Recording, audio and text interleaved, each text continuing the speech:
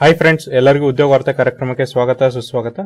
So ನೋಡ್ರಿ ಇವತ್ತಿನ ಒಂದು ಉದ್ಯೋಗ ವಾರ್ತೆದಲ್ಲಿ ನಾವೇನ್ ಡಿಸ್ಕಸ್ ಮಾಡ್ತಿದ್ವಿ ಅಂದ್ರೆ ಈ P S I five forty five ನೇಮಕಾತಿ ಬಗ್ಗೆ ಡಿಸ್ಕಷನ್ ಅನ್ನ ಮಾಡ್ತಾ ಇದೀವಿ ನೋಡ್ರಿ ಈ ನೇಮಕಾತಿಗೆ ಸಂಬಂಧಪಟ್ಟಂತೆ ಏನಪ್ಪ ಅಂದ್ರೆ ಹೈಕೋರ್ಟ್ ಅಲ್ಲಿ ಏನ್ ಅರ್ಜಿ ವಿಚಾರಣೆ ನಡೀತಾ ಇತ್ತಲ್ಲ, ಅದ್ರ ಬಗ್ಗೆ ನಾವಿಲ್ಲಿ ಡಿಸ್ಕಷನ್ ಅನ್ನ ಮಾಡ್ತಾ ಇದೀವಿ ನೋಡ್ರಿ ಹೈಕೋರ್ಟ್ ಅಲ್ಲಿ ನಿನ್ನೆ ಏನ್ ಹೇಳಿದಾರೆ ಅಂದ್ರೆ ಮೌಖಿಕವಾಗಿ ಅಭಿಪ್ರಾಯವನ್ನ ವ್ಯಕ್ತಪಡಿಸಿದ್ದಾರೆ ಅಂದ್ರೆ ಬಾಯಿ ಮಾತಲ್ಲಿ ಅವ್ರು ಹೇಳಿದ್ದಾರೆ ಈ ತರನಾಗಿ ನಮ್ಮ ಜಜ್ಮೆಂಟ್ ಬರ್ಬೋದು ಅಂತೇಳಿ ನಿರೀಕ್ಷೆನ ಕೊಟ್ಟಿದ್ದಾರೆ. ನೋಡ್ರಿ ಆಗಸ್ಟ್ ಏಳರಂದ ಏನಪ್ಪ ಅಂದ್ರೆ ಅಂತಿಮ ತೀರ್ಪು ಬರುವ ಸಾಧ್ಯತೆ ಇದೆ. ಅಂದ್ರೆ ಇವತ್ತು ಆಗಸ್ಟ್ ಐದು, ಇನ್ನೊಂದು ಎರಡು ದಿನದಲ್ಲಿ ಏನಪ್ಪ ಅಂದ್ರೆ ಅಂತಿಮ ತೀರ್ಪು ಬರುವಂತ ಸಾಧ್ಯತೆ ಇದೆ. ಪಿ ಎಸ್ ಐ ನೇಮಕಾತಿಗೆ ಮರು ಪರೀಕ್ಷೆಯನ್ನು ನಡೆಸಬಹುದು.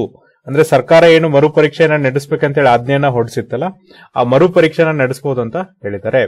ಅಂದ್ರೆ ಹಿಂದಿನ ಸರ್ಕಾರ ನೋಡ್ರಿ, ನೇಮಕಾತಿ ಘೋಷಣೆ ಆದ್ಮೇಲೆ ಪರೀಕ್ಷೆ ನಡೀತು, ಪರೀಕ್ಷೆ ನಡೆದ್ಮೇಲೆ ಏನಾಯ್ತಪ್ಪ ಅಂದ್ರೆ ಅಲ್ಲಿ ಸ್ಕ್ಯಾಮ್ ಆಗಿ ಐವತ್ತೆರಡು ಜನ ವಿದ್ಯಾರ್ಥಿಗಳನ್ನ ತೆಗೆದು ಹಾಕ್ಲಾಯ್ತು ಇದಾದ್ಮೇಲೆ ಏನ್ ಮಾಡಿದ್ರಪ್ಪ ಅಂದ್ರೆ ಸರ್ಕಾರ ಏನ್ ಮಾಡಿತಂದ್ರೆ ಒಂದು ಪ್ರೆಸ್ ಮೀಟ್ ಅನ್ನ ಮಾಡಿ ಮಾಡಿದ್ರು ಅಂದ್ರೆ ನಾವು ಪಿ ಎಸ್ ಐ ಮರುಪರೀಕ್ಷೆನ ಮಾಡ್ತೀವಿ ಅಂತ ಹೇಳಿದ್ರು.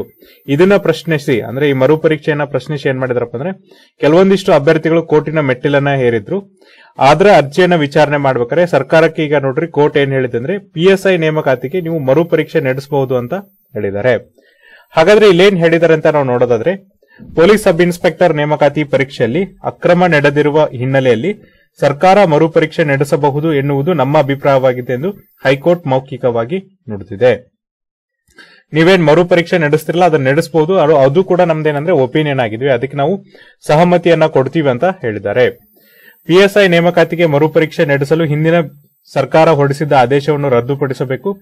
ಕಳಂಕಿತ, ಕಳಂಕರಹಿತ ಅಭ್ಯರ್ಥಿಗಳನ್ನು ಪ್ರತ್ಯೇಕಿಸಿ ನೇಮಕಾತಿ ಆದೇಶ ನೀಡಲು ಸರ್ಕಾರಕ್ಕೆ ನಿರ್ದೇಶಿಸಬೇಕು ಎಂದು ಕೋರಿ ಆಯ್ಕೆಯಾಗಿದ್ದ ನೂರಕ್ಕೂ ಹೆಚ್ಚು ಅಧಿಕ ಅಭ್ಯರ್ಥಿಗಳು ಸಲ್ಲಿಸಿರುವ ಅರ್ಜಿಗಳನ್ನು ನ್ಯಾಯಮೂರ್ತಿ ಪಿಎಸ್ ದಿನೇಶ್ ಕುಮಾರ್ ಹಾಗೂ ನ್ಯಾಯಮೂರ್ತಿ ಟಿಜಿ ಶಿವಶಂಕರೇಗೌಡ ಅವರಿದ್ದ ಪೀಠ ಶುಕ್ರವಾರ ವಿಚಾರಣೆ ನಡೆಸಿತು.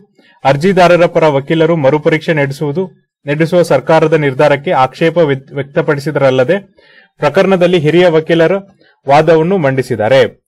ಅದಕ್ಕಾಗಿ ಸ್ವಲ್ಪ ಸಮಯದವರೆಗೆ ಅರ್ಜಿ ವಿಚಾರಣೆ ಮುಂದೂಡಬೇಕೆಂದು ಸಹ ಕೋರಿದರು. ಅದಕ್ಕೆ ನ್ಯಾಯಪೀಠ ಸ್ವಲ್ಪ ಹೊತ್ತಿನವರೆಗೆ ಮುಂದೂಡಲಾಗುವುದು, ಬೇಕಿದ್ದರೆ ಸೋಮವಾರ ಅರ್ಜಿ ವಿಚಾರಣೆ ನಡೆಸಲಾಗುವುದು ಎಂದು ಹೇಳಿತು. ಇದೇ ವೇಳೆ ಸರ್ಕಾರ ಮರುಪರೀಕ್ಷೆ ನಡೆಸಿದರೆ ಸಮಸ್ಯೆ ಏನು? ಅರ್ಜಿದಾರರು ಪರೀಕ್ಷೆ ಬರೆದು ಉತ್ತೀರ್ಣರಾಗಬೇಕ, ರಾಗಬಹುದಲ್ಲವೇ? ಅಂದ್ರೆ ನೋಡ್ರಿ, ಸರ್ಕಾರ ಮತ್ತೆ ಮರುಪರೀಕ್ಷೆ ನಡೆಸಿದ್ರೆ ಈಗೇನು ಅರ್ಜಿಯನ್ನ ಹಾಕಿದ್ದಾರೆ, ಅಥವಾ ಯಾರು ಇಲ್ಲೇ ಮನವಿಯನ್ನ ಮಾಡಿದ್ದಾರೆ ಹೈಕೋರ್ಟ್ ಅಲ್ಲಿ ಏನಪ್ಪ ಅಂದ್ರೆ ಪೆಟಿಷನ್ಸ್ ಹಾಕಿದಾರಲ್ಲ, ಅವರು ಮತ್ತೆ ಪರೀಕ್ಷೆನ ಬರೆದು ಉತ್ತೀರ್ಣರಾಗಬಹುದಲ್ಲವೇ? ಅಂದ್ರೆ ಮತ್ತೆ ಪರೀಕ್ಷೆನ ಬರೆದು ಪಾಸ್ ಆಗಬಹುದಲ್ಲ ಅಂತೇಳಿ ಕ್ವಶನ್ ಅನ್ನ ಮಾಡಿದ್ದಾರೆ.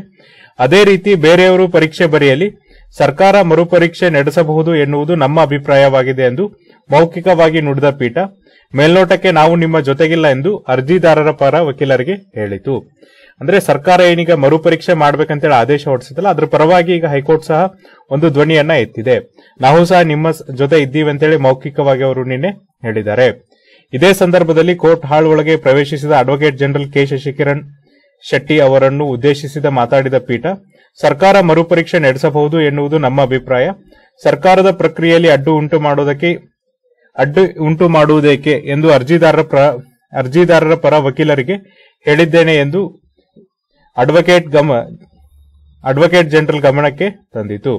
ಸೊ ನೋಡ್ರಿ ಇಲ್ಲಿ ಏನ್ ಮಾಡಿದಾರೆ ಅಂದ್ರೆ ಯಾಕೆ ನೀವು ಮರುಪರೀಕ್ಷೆಗೆ ಅಡ್ಡಿ ಮಾಡ್ತಿದ್ರ ಆತರ ನಂಗೆ ಅಡ್ಡಿ ಮಾಡಬೇಡ್ರಿ ಅಂತ ಹೇಳಿ ಏನಪ್ಪ ಅಂದ್ರೆ, ಅರ್ಜಿದಾರ ಯಾರು ಸಲ್ಲಿಸಿದ್ರಲ್ಲ, ಅವ್ರಿಗೆ, ವಕೀಲರಿಗೆ ಏನಂದ್ರೆ, ಹೈಕೋರ್ಟ್ ಹೇಳಿದೆ. ಪ್ರಕರಣದ ಸಂಬಂಧ ಸರ್ಕಾರ ಕೈಗೊಂಡಿರುವ ಕ್ರಮಗಳನ್ನು ನ್ಯಾಯಪೀಠಕ್ಕೆ ವಿವರಿಸಲು advocate general K Shashikiran Shetty ಅವರು ಮುಂದಾದರು. ಆಗ ನ್ಯಾಯಪೀಠ ಅರ್ಜಿದಾರರ ಪರ ಹಿರಿಯ ವಕೀಲರು ವಾದ ಮಂಡಿಸ, ಮಂಡಿಸಲಿದ್ದಾರಂತ. ಆದ್ದರಿಂದ ಸೋಮವಾರ ಬೆಳಗ್ಗೆ ಹತ್ತು ಗಂಟೆ ಮೂವತ್ತು ನಿಮಿಷಕ್ಕೆ ಪ್ರಕರಣಕ್ಕೆ ವಿಚಾರಣೆ ನಡೆಸೋಣ ಎಂದು ತಿಳಿಸಿ ಅರ್ಜಿದಾರ, ಅರ್ಜಿಯನ್ನು ವಿಚಾರಣೆ ಮುಂದೂಡಿಸಿತು. ಅಂದ್ರೆ ನೋಡ್ರಿ, ಈಗ ಏನ್ ಮಾಡಿದ್ರಂದ್ರೆ ಮತ್ತೆ ಅರ್ಜಿದಾರರ ಪರ ಹಿರಿಯ ವಕೀಲರು ವಾದವನ್ನ ಮಂಡಿಸಕ್ ಬಂದಾಗ ಅಲ್ಲಿ ಹೈಕೋರ್ಟ್ ಏನ್ ಹೇಳ್ತಂದ್ರೆ, ಇವಾಗ ಬೇಡ, ನಾವ್ ಏನ್ ಮಾಡ್ತೀವಿ ಅಂದ್ರೆ ಸೋಮವಾರ ಬೆಳಗ್ಗೆ ಹತ್ತು ಗಂಟೆ ಮೂವತ್ತು ನಿಮಿಷಕ್ಕೆ ಏನ್ ಮಾಡ್ತೀವಪ್ಪ ಅಂದ್ರೆ ಅದನ್ನ ಮತ್ತೆ ತೆಗೆದುಕೊಳ್ತೀವಿ. ಒಳಗೂ ಏನ್ ಮಾಡೋಣ ಅಂದ್ರೆ ಅರ್ಜಿಯನ್ನ ಮುಂದೂಡೋಣ ಅಂತ ಹೇಳಿದ್ರು.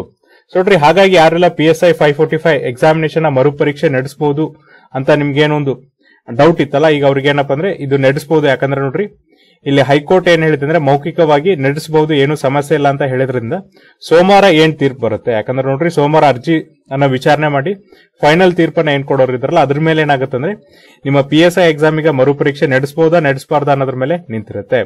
ಸೋಮವಾರ ನೋಡ್ರಿ ಫೈನಲ್ ತೀರ್ಪು ಬರಲಿ, ಬಂದು ಆದಷ್ಟು ಬೇಗ ಏನಪ್ಪ ಅಂದ್ರೆ ಸರ್ಕಾರನು ಕೂಡ ಏನಂದ್ರೆ ಎಕ್ಸಾಮಿನ್ ಎಕ್ಸಾಮಿನೇಷನ್ ಡೇಟ್ ಅನ್ನ ಅನೌನ್ಸ್ ಮಾಡ್ಲಿ. ಅಂದ್ರೆ ಯಾವ ದಿನಾಂಕಕ್ಕೆ ಎಕ್ಸಾಮಿನೇಷನ್ ಮಾಡ್ತೀವಿ ಅಂತ ಹೇಳಿ, ಅದೇ ತರನಾಗಿ ಏನಂದ್ರೆ ಇನ್ನೂ ಕೂಡ ಹೆಚ್ಚಿನ ವೇಕೆನ್ಸೀಸ್ ಏನ್ ರಿಕ್ರೂಟ್ ಮಾಡ್ಕೊಂಡು ಇದೆಯಲ್ಲ, ಅದು ಆದಷ್ಟು ಬೇಗ ಆಗ್ಲಿ ಅಂತ ಹೇಳ್ತಾ, ಇದೇ ತರನ ಅಂತ ಉಪಯುಕ್ತ ಮಾಹಿತಿಯನ್ನ ನಾವು ನಿಮಗೆ ಕೊಡ್ತಾ ಇರ್ತೀವಿ. ಅಲ್ಲಿವರೆಗೂ ನೋಡ್ತಾ ಇರಿ, ಉದ್ಯೋಗ ವಾರ್ತೆ ಕಾರ್ಯಕ್ರಮ. Thank you